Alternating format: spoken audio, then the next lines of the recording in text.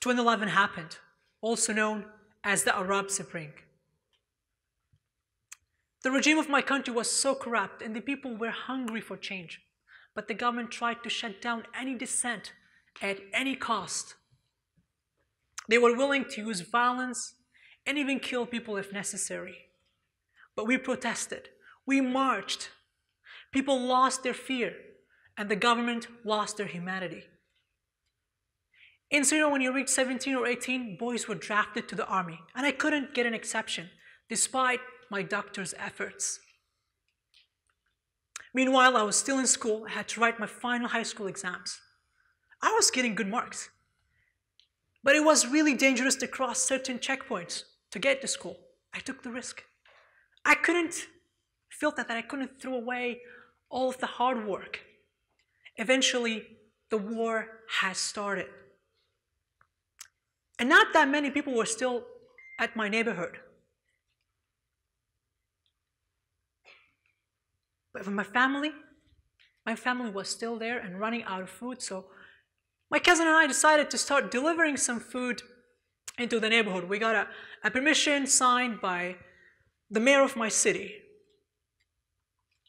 Men couldn't go out because the army considered everyone as, as a suspect. And as, I, and as I said, they were willing to kill and did.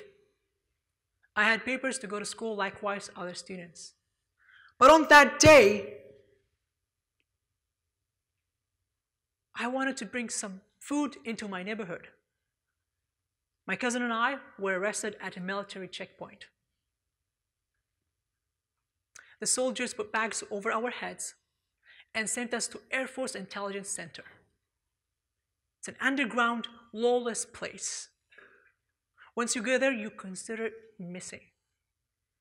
We thought that's going to be the end of our lives because how things worked there. They started to beat me, and call me a traitor with no reasons. With no reason. And they made me sign a document even. And to this day, I don't know what I signed. And when their leader got, got enough, he told them to send me back to where we belong, meaning to jail. But the guards interpreted this as back to the checkpoint. They misunderstood the order and it ended up saving our lives.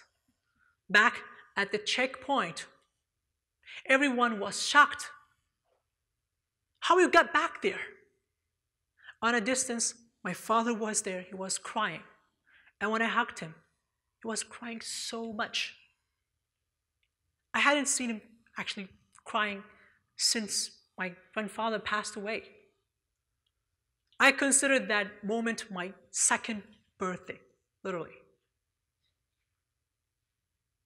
Because I was giving a second chance to live. It was really tough. I just saw my death hours ago, but my dad's tears was my dad's tears washed it away.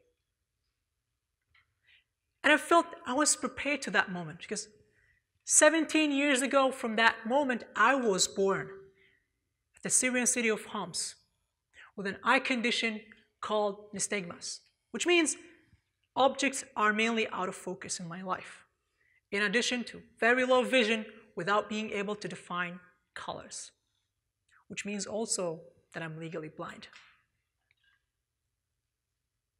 I grew up in a middle class family. My, my parents were farmers, and I had their support at the house my father built. I didn't really think of myself as different from other kids. Until that moment, the first day of school, it was really tough to deal with. The doctor told my family that I needed a private school, but my family couldn't afford it, so had to go to our public school. At the time, I was so frustrated, like anyone else would be in an environment that is inaccessible at all. I had to learn how to adapt by advocating for myself, talking to teacher, it gives me more confidence.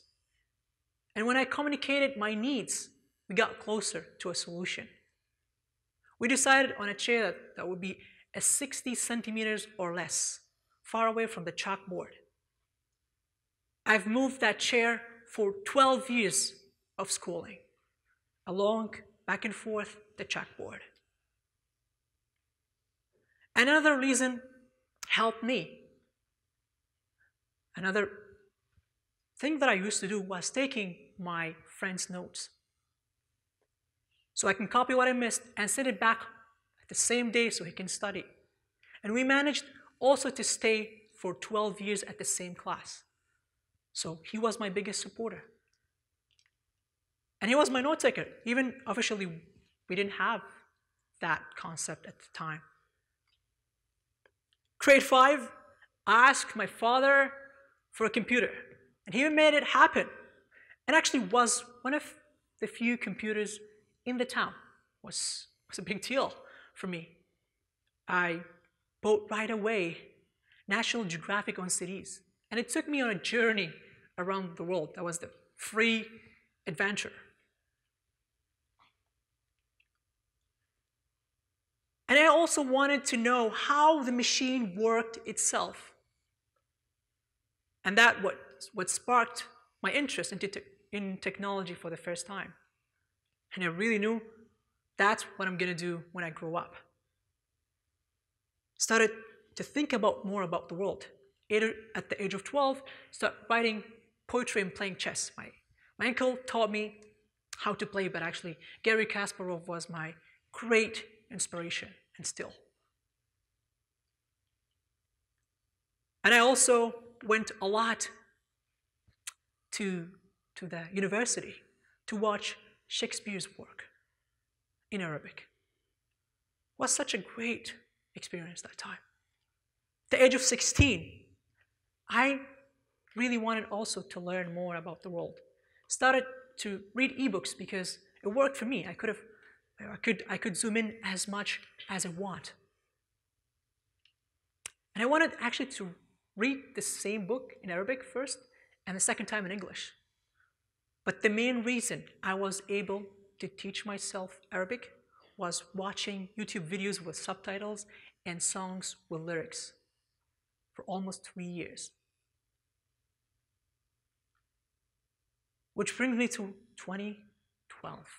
That was biggest moment, biggest decision when I decided to leave Syria because of the war.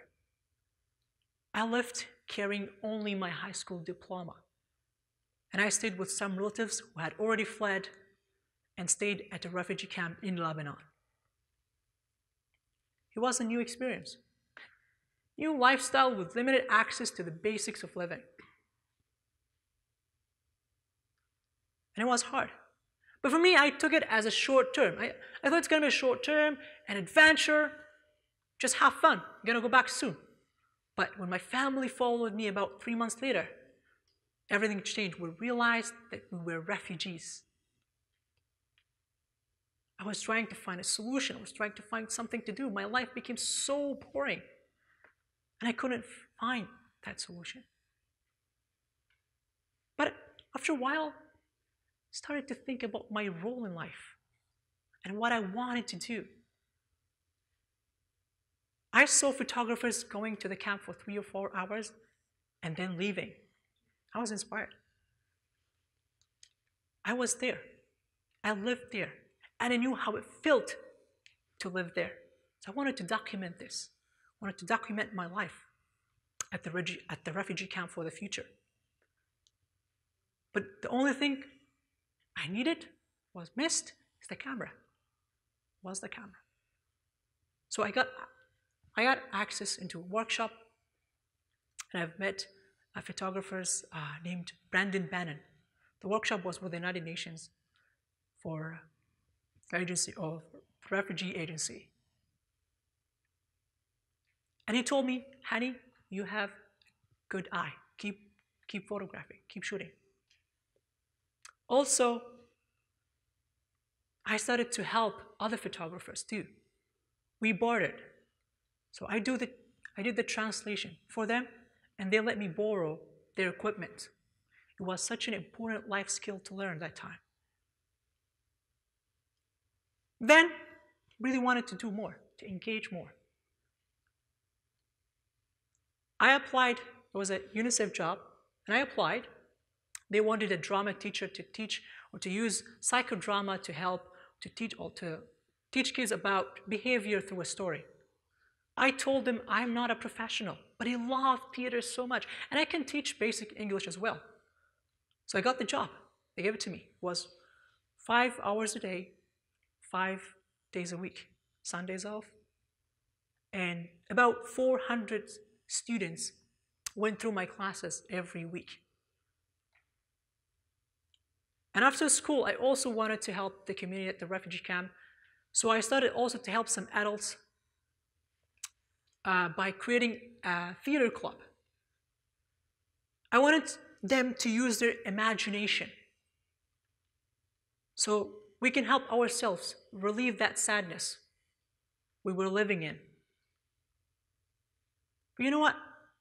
I was making some money, but I couldn't really go to that private school close by. Couldn't afford it. So all the money went to support my family.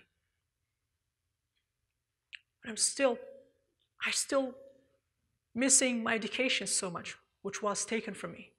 So I convinced my family to start applying to the resettlement program through United Nations.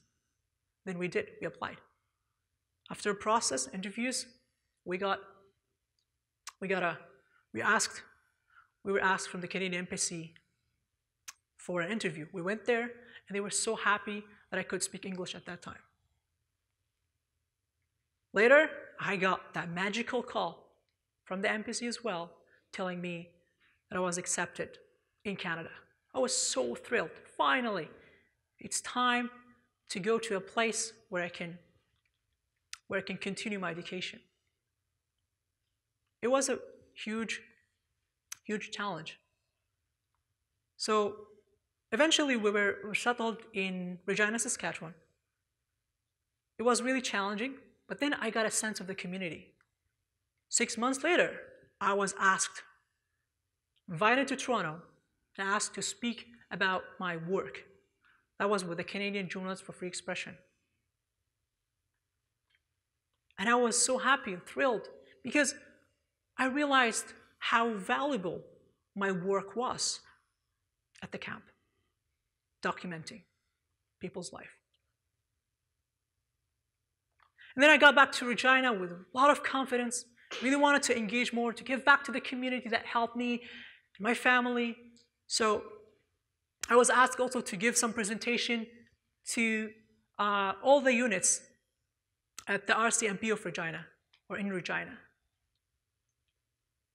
It was a great experience because I used my knowledge to inform them about the newcomers so they can have an idea from a different lens.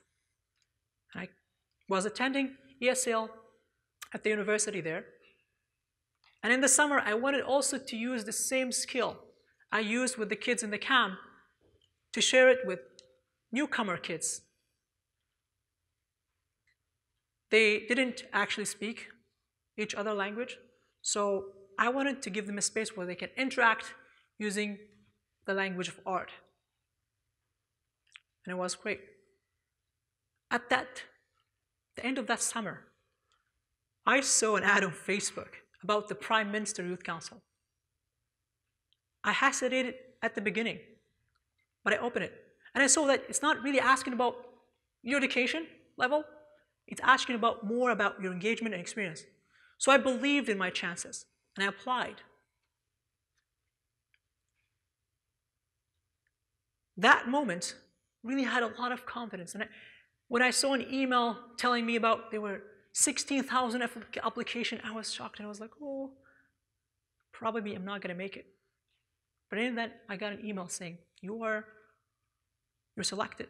I was so happy because that's something I really missed at home, is actually to speak to politicians and to enjoy the free, the free speech that we have here. So I really wanted to help my friends now at the council and also working with other ministers to shape policies that affect young people because young people are the future and and the present as well. And also, that's going to affect Canada too. The country who brought me, which brought me here and gave me this, this chance. And I'm so proud of it. My education was still there. When I came to Toronto, summer uh, in December 2016, I really wanted to study here. And this January, I got enrolled into the computer engineering program. That was my dream. That was taken away from me. So I'm studying right now at one of the best school here, downtown Toronto. Finally, I made it. And it is on a, it, it was on a full scholarship, and I couldn't ask for more. And now, my life, my life has had painful lows and glorious highs. What I wanted to share with you before I go today is what I believed helped me to push through all the periods of worst adversity. Even though these were human dramas, I realized that home, that every place actually can be home. And every place cannot be home. For me, home now is the people around me and is how I find myself doing the things that feed my soul and mind, no matter what the circumstances are. Thank you.